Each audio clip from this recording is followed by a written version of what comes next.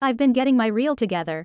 I think they are looking at me more as an actress because I have a lot of potential and a lot of skills.